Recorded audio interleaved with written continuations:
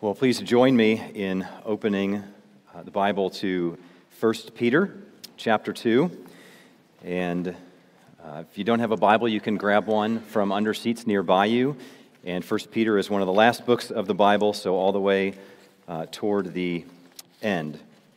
And as you uh, walked in this morning, you received um, a booklet uh, called Jesus and um, politics. So if you didn't grab one of these, you, uh, there's some copies still at the uh, Resource Center um, available. So um, we, this is not a comprehensive vision of Christianity and politics. What it is is a sustained reflection on one statement Jesus made that has massive implications for our understanding of Christianity and politics.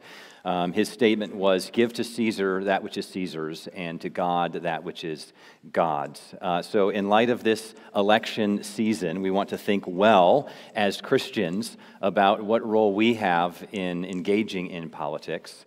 Um, and so, we care about this. Um, and so we want to think well about it. Also, if you weren't here last Sunday, uh, we also handed out um, a short uh, little note about how uh, should we engage in politics as Christians? So, this is a little bit broader, but also pretty short, um, about five uh, things for us to think about as Christians who engage in politics. So, if you weren't here, there's copies of this at the Resource Center as well. So, just stop by, and that's on the uh, table back there, so you can grab that before you leave. Uh, so, one reason to do this is because many Christians uh, today, and you've probably noticed this, um, like so many things in life, we tend to move in extremes. Uh, and we can either tend to make too much of our political engagement in our current moment in America um, and make our engagement in politics or the hope we have in this of ultimate significance. Others can take the other extreme, partly in a reaction to that, and then uh, think that it has no importance and that this is not important at all, and, at all, and we can ignore this completely. Uh, um, but the Bible actually gives us a fuller vision. Uh, Jesus is relevant to every aspect of life.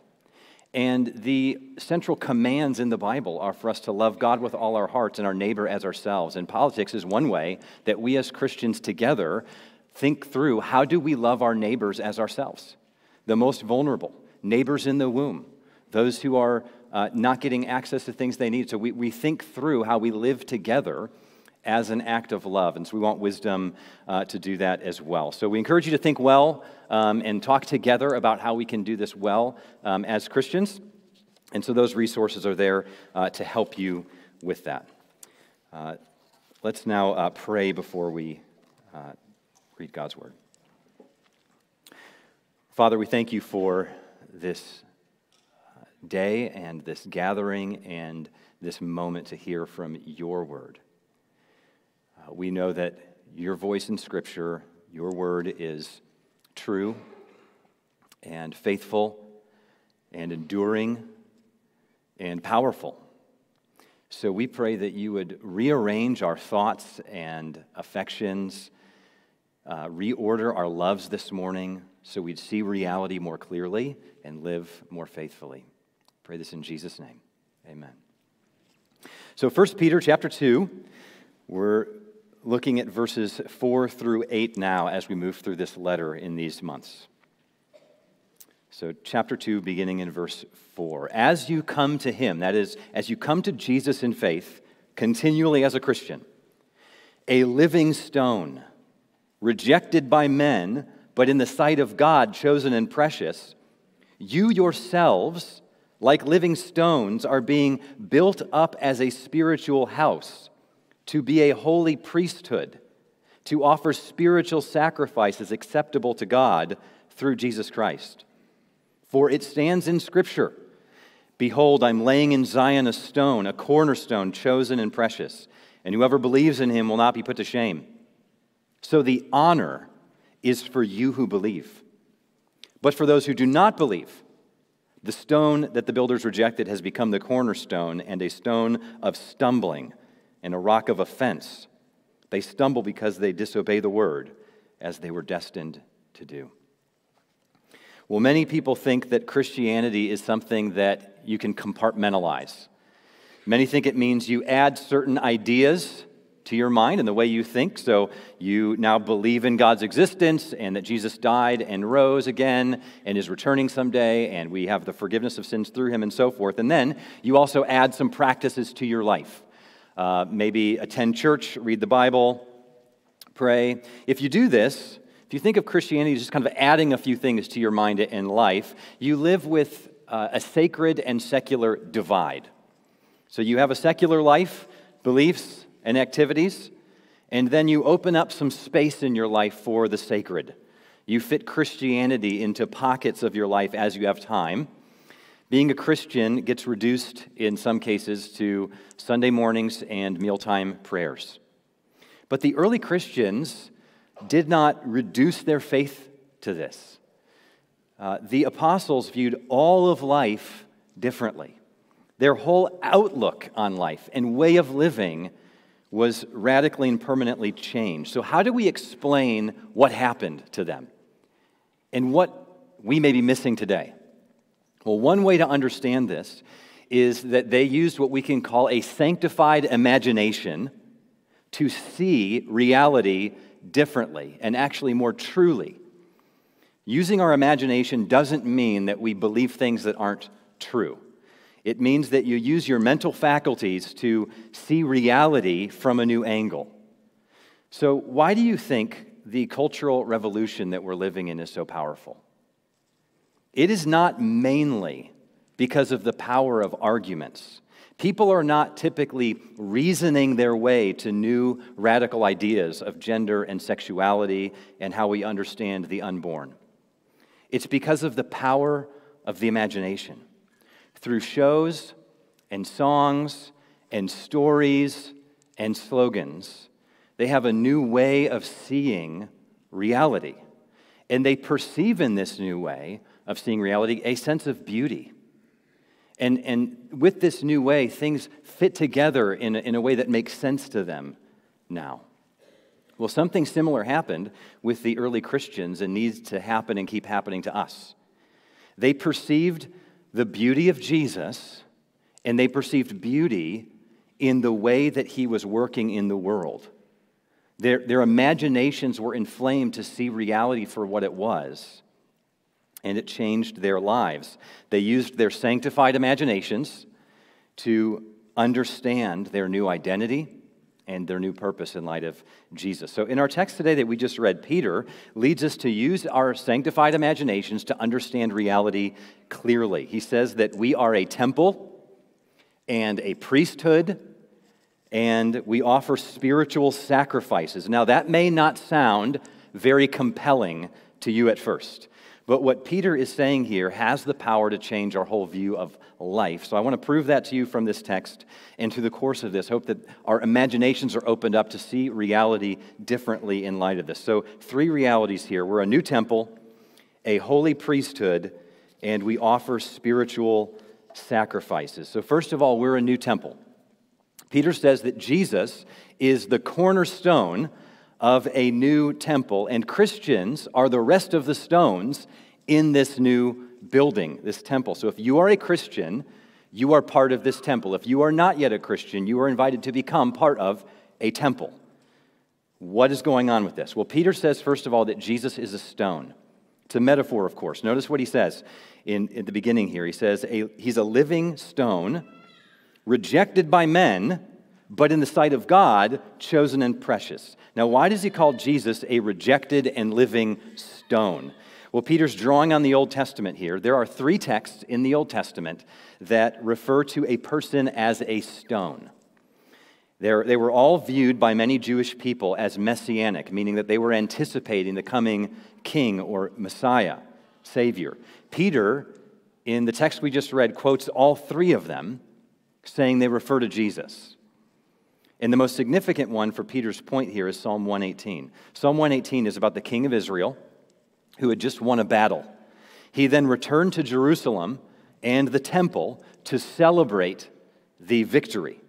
And in Psalm 118 22, he, this king says this about himself The stone that the builders rejected has become the cornerstone. Do you know what a cornerstone is? It was that first stone laid in a building project. And it had to be perfectly cut because the rest of the building went out from it. Its edges set the trajectory of the sides of the building. So once you laid a perfectly cut cornerstone, you know the rest of that building will be level and plumb. The king in this psalm is saying, I was rejected as unworthy, but I've become the cornerstone. Jesus quoted this text to refer to himself. In his final week, Jesus came into Jerusalem, entered the temple, just like that king in Psalm 118. And then in the temple, the Jewish leaders were rejecting him, looking to kill him. So he told them a story. He said that they are like tenants that a master um, gave a land to, and his land to, to care for it, put in charge of it. And these tenants keep rejecting the servants that the master sends to check on them. And they eventually reject the master's son and kill him. Jesus was telling them what they were about to do to him. He's the Son of God. Their ancestors had rejected prophet after prophet after prophet, and now they're going to kill God's own Son. And he capped off the story by quoting Psalm 118. He said, this is Mark 12:10, "Have you not read in scripture the stone that the builders rejected has become the cornerstone?" He was saying, "You are about to kill me, but I will rise and I will be the cornerstone of a new building." Peter learned this from Jesus. And so, in the early days of the church, Peter confronted the people of Israel for rejecting Jesus.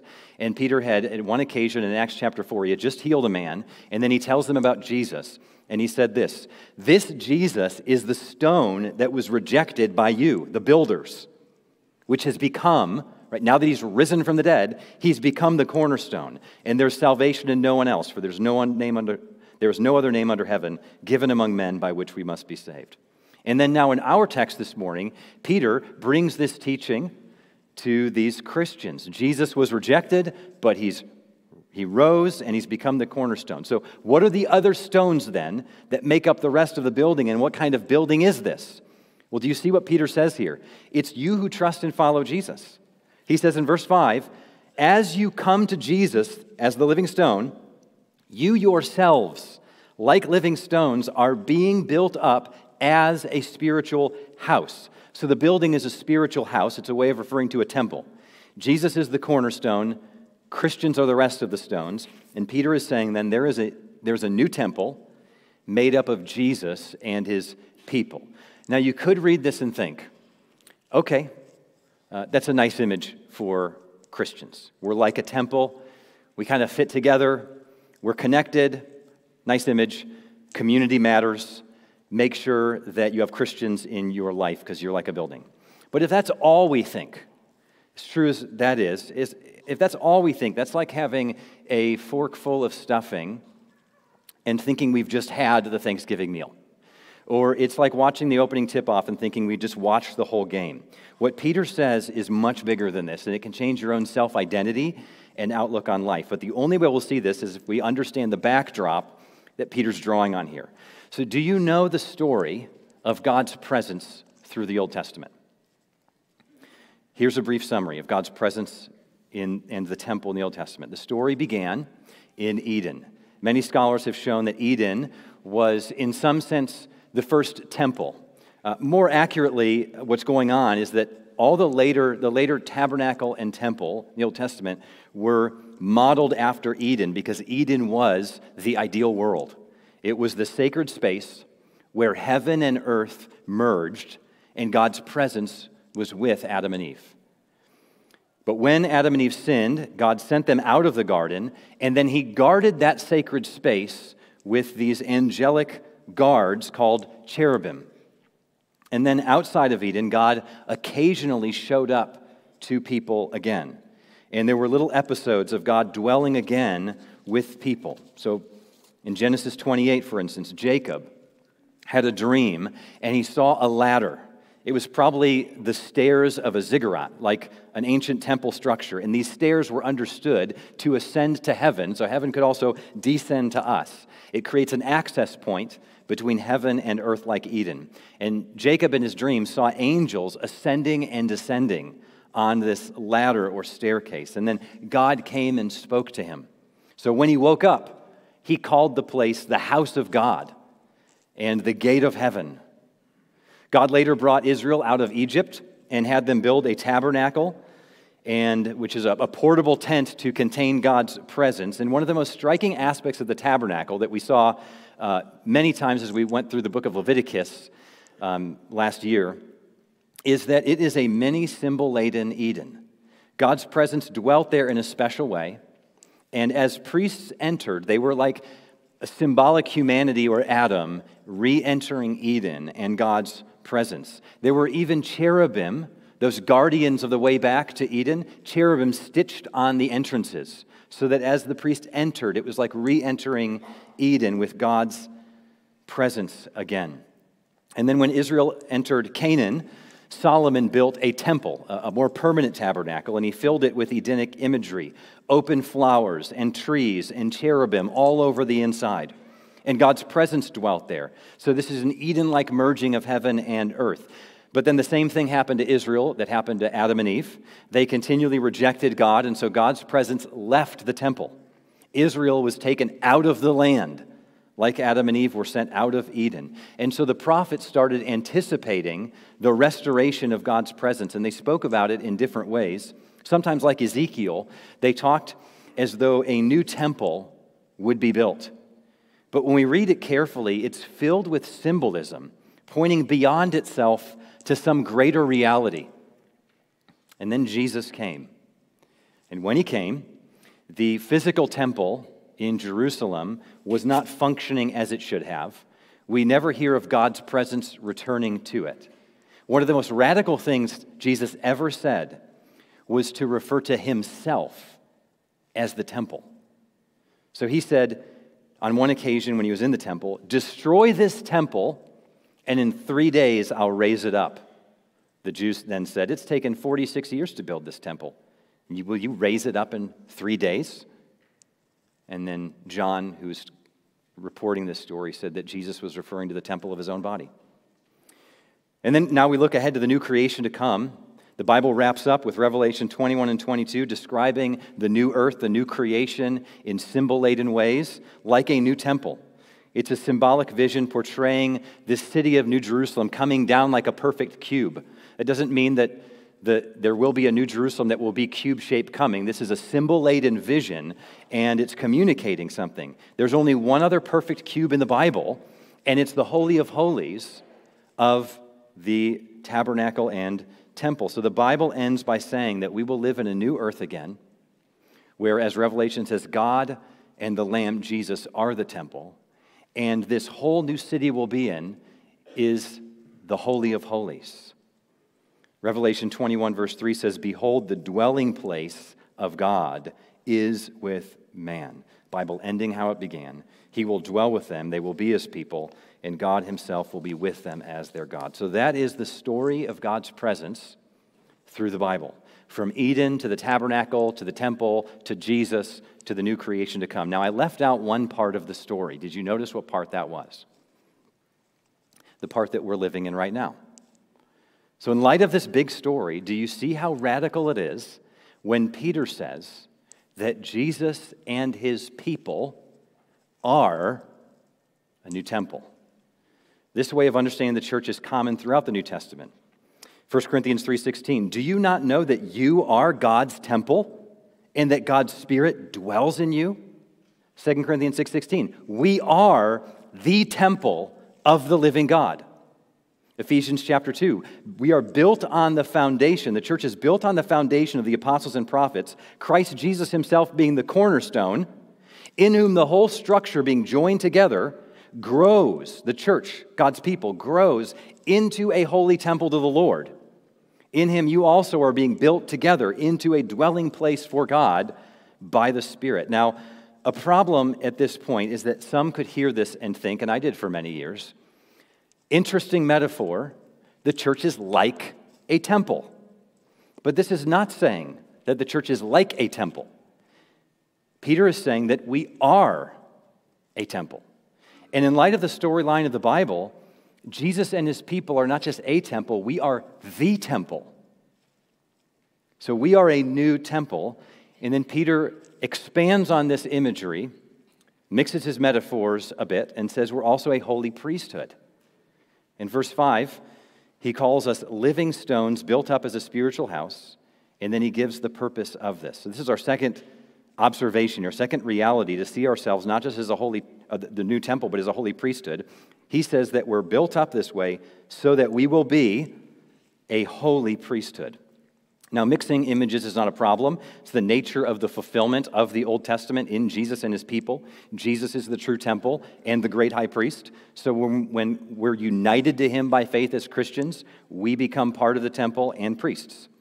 And like the story of God's presence through the Old Testament, we won't grasp the significance of this imagery here without the Old Testament story of priesthood. Uh, we'll be much briefer this time. Peter brings this up again in verse 9, which we'll return to in a couple weeks. But here's a 20 second summary. Adam, our first human, was the first priest. He was a priest in Eden. He was placed in God's presence, in this temple like presence of Eden, to worship him and to obey him and to teach his word. And when God then later would give Israel the tabernacle and temple, he also appointed priests to offer sacrifices, to worship, and to teach God's word. And then Jesus came as the great high priest who offered himself as the final sacrifice for sins. And now we are united to him by faith and we become priests. We're restored to this priestly role of Adam and humanity from the beginning. So, this is where the doctrine of the priesthood of all believers comes from. So, we'll spend more time on that in a couple weeks as Peter brings it up again. But for now, the main point is if you are a Christian, you are a priest. This is to be part of your self understanding. And the church together is therefore a priesthood. We have direct access to God's presence. The best part of Eden's restored. God is with us, and we can serve and worship Him. So, what does this mean for us? Well, this is what we see next. Being a priesthood gives us a new purpose for our lives. So, third, here's our purpose we offer spiritual sacrifices. So, we are a new temple, Peter says, in order to be a new priesthood that lives out this new purpose in verse 5 to offer spiritual sacrifices acceptable to God through Jesus Christ. Now, this is a new, dignified, whole life encompassing purpose available to you. We are still here in the imagery of a temple with priests. So now we're a new temple. We're filled with God's Spirit's presence. And now, as priests in the temple, we have a role to play, and that's to offer sacrifices. Now, what are those sacrifices? Peter doesn't expand on it here, but other New Testament authors fill this out for us, and we can see in the rest of Peter's letter, as we'll see in coming weeks, what this looks like. And Peter and the rest of the New Testament show us that our sacrifices are made and can be made in every aspect of life. In fact, we are to offer our whole self as a sacrifice to God's service. Romans 12, 2 says, Present your bodies as a living sacrifice, holy and acceptable to God, which is your spiritual worship. So you are now a priest to offer a sacrifice. So what do you offer? Your whole self in all of life. It's not limited.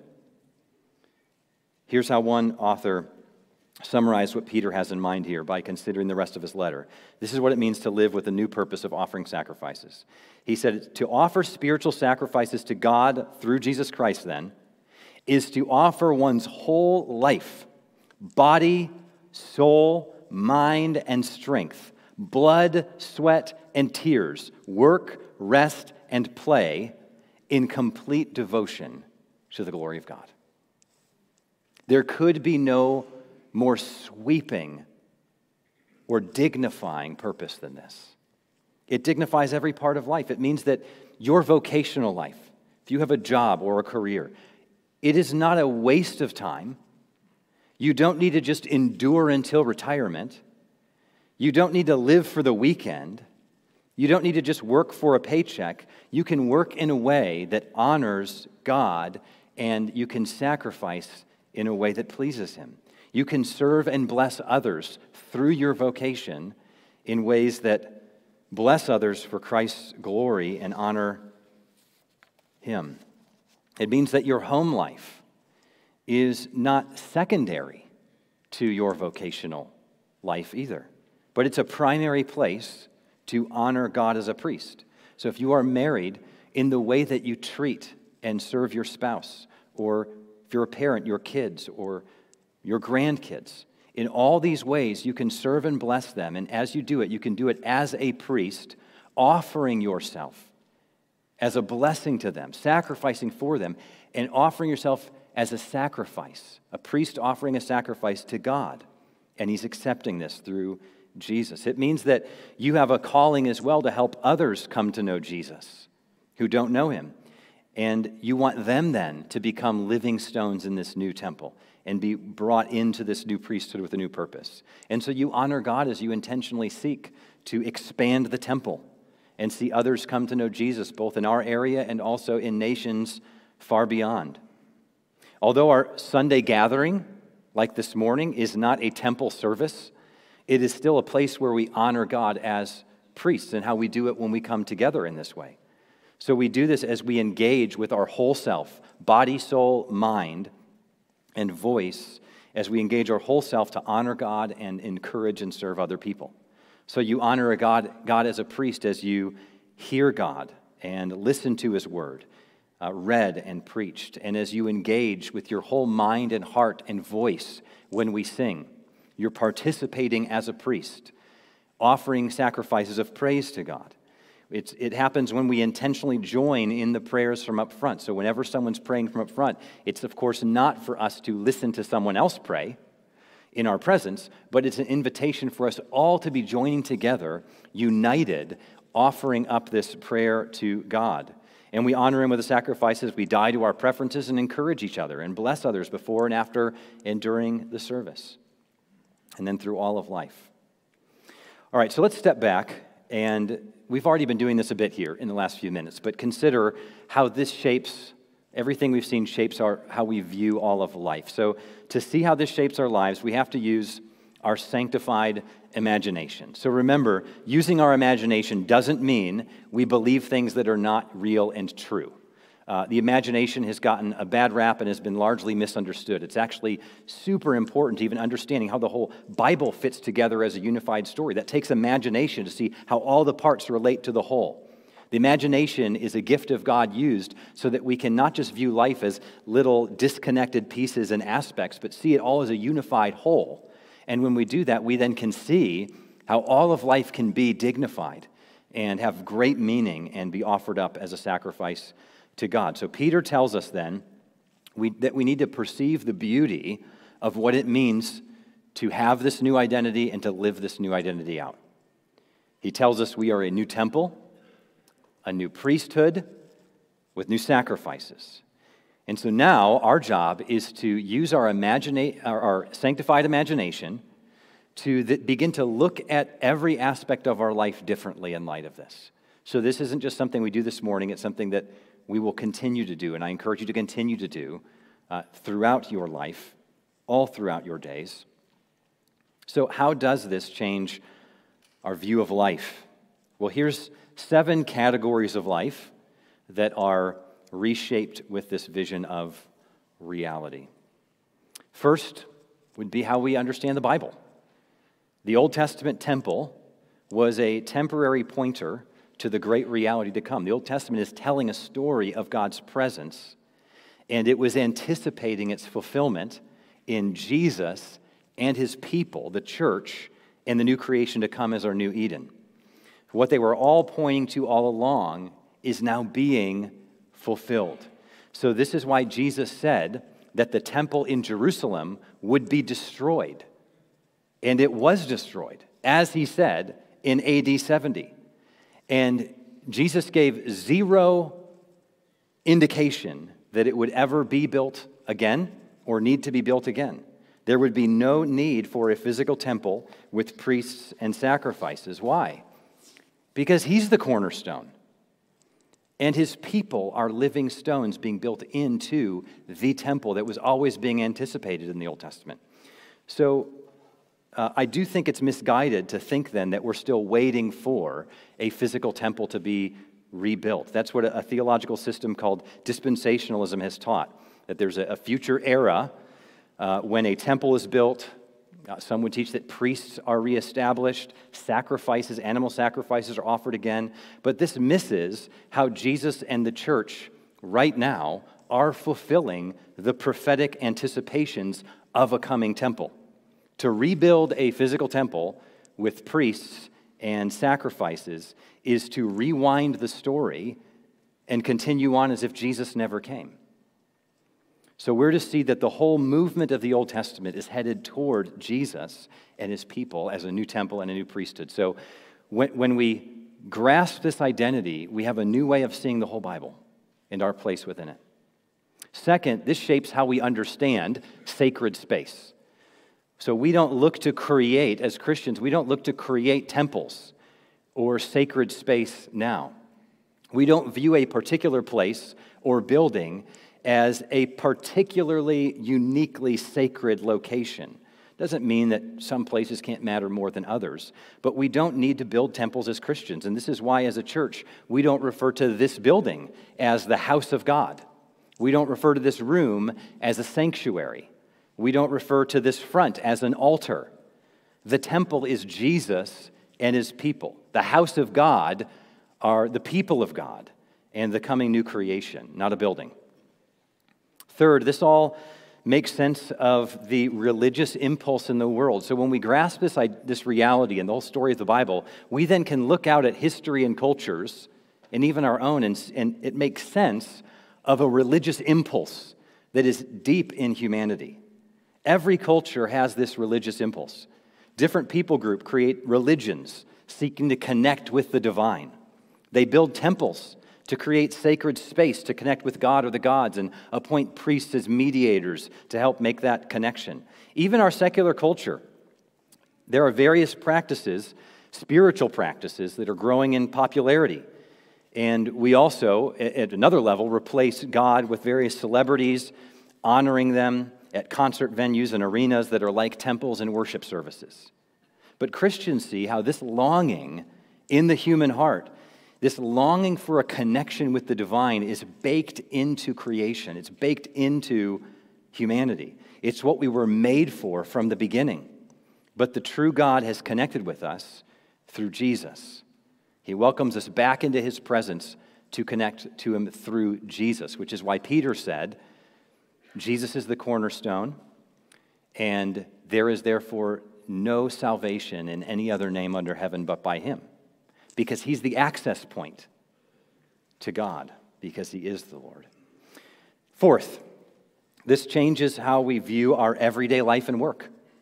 If you are a Christian, you are a new temple and a new priesthood offering spiritual sacrifices. Our whole life now is lived with God's presence indwelling us as a temple. So every part of life can be offered to God as a spiritual sacrifice. There's no ultimate chasm between the sacred and secular. And this gives incredible dignity to your work. Your vocation can be a place where you are bringing God's presence to the world. It's a place where you serve and show His love and reflect His glory. As you work in accounting, or as you change diapers and clean messes, or as you run a business, this all matters because it's a way of living in God's presence and loving others. And He sees it and He honors you for it, even if no one else sees, and you feel worthless and you see, feel like it doesn't matter. Living with a sanctified imagine means you see reality actually more clearly than you might feel. You see reality more clearly than other people around you do. You see that what you're doing does matter. It's a sacrifice acceptable to God. Fourth, or was that fourth? Fifth, this changes how we view our own thoughts and actions.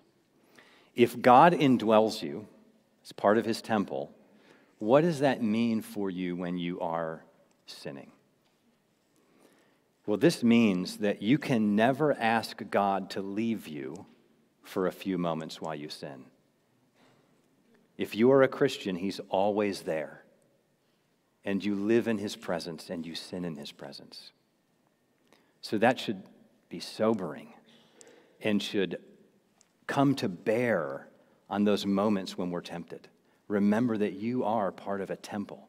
God's presence is with you. You can't ask him to look away or leave you for a few moments while you do this. And what wonderful news then, as well, for us when we do sin. He is always there to take us back. So we can turn right to Him immediately. And He receives us through Jesus because the final sacrifice has been made for our sin. Sixth, this shapes our view of the local church. This is a very communal text. Notice he doesn't say that each Christian is an individual isolated temple. No, we are each stones that are together forming a spiritual house.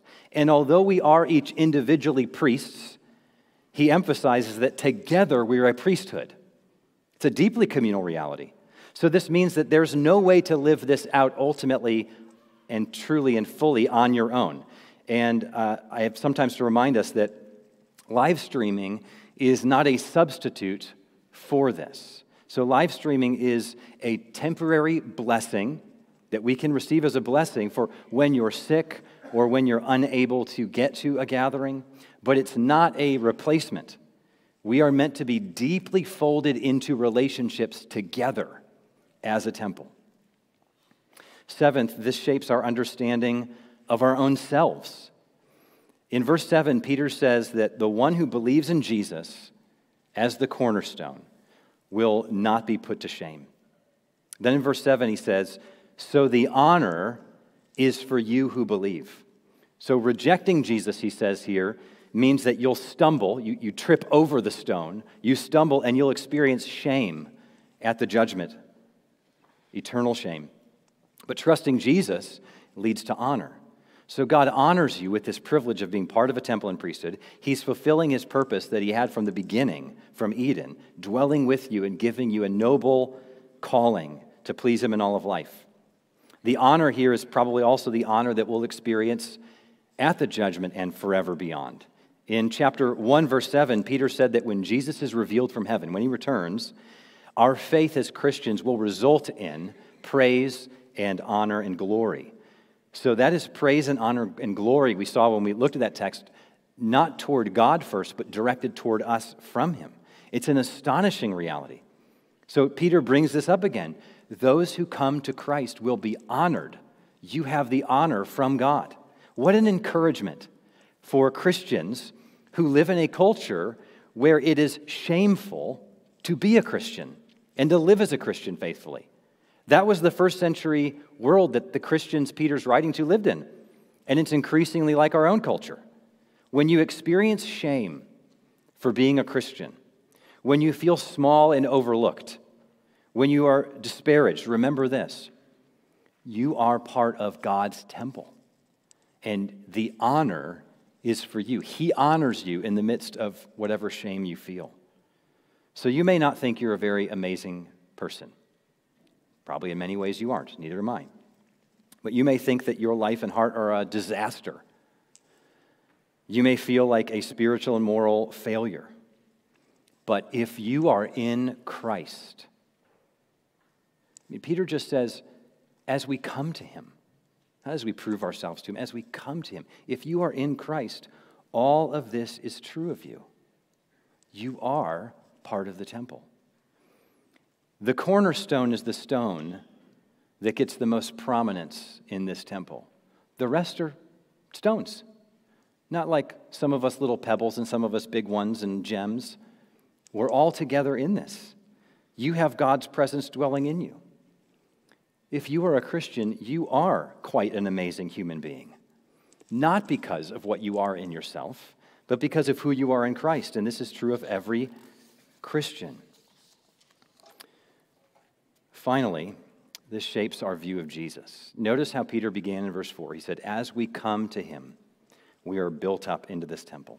We saw last week that our growth as a Christian, Peter says, is like being a baby that is longing for milk to help it grow, help it grow. So, just like that, we long for more of Jesus and his word to make us grow. So, we keep coming to him, Peter says. We keep being astonished by Jesus. We keep coming back to him if you've drifted. So, if you're a Christian, you've come to him, and then maybe you've drifted from him. Maybe you've drifted from him just since last night. Maybe you've drifted from him in a long season of life here. Maybe a little, maybe a lot. Peter knows. And so he says, keep coming to him. Keep returning to him. He will always take a repentant sinner and drifter back. And if you're not a Christian, you are invited to come to him for the first time. Peter said that there really are two responses to Jesus.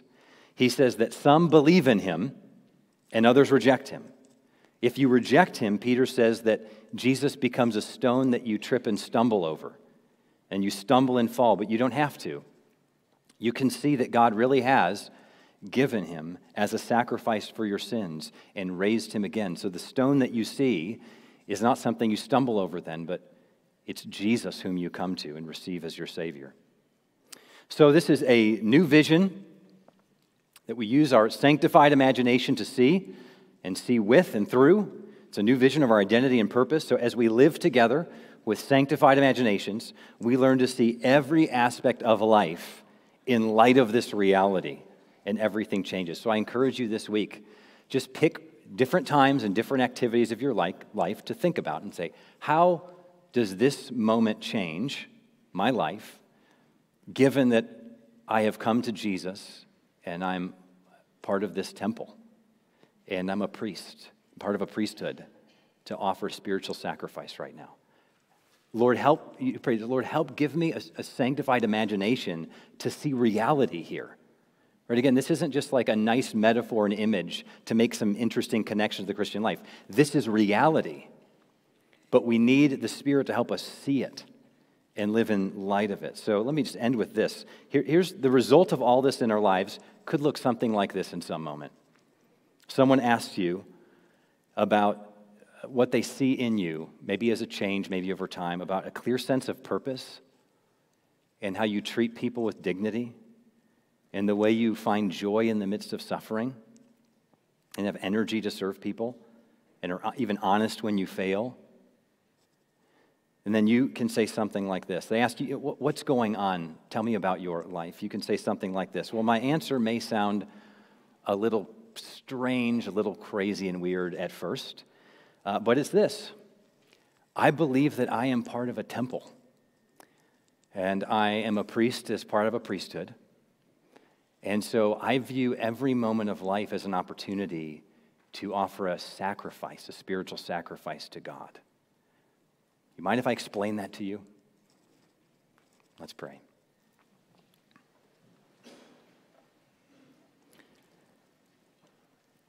Father, we thank you for making this world way more amazing and intriguing than we would ever think if you've not told us. We thank you for the beauties that we see with our eyes in this world.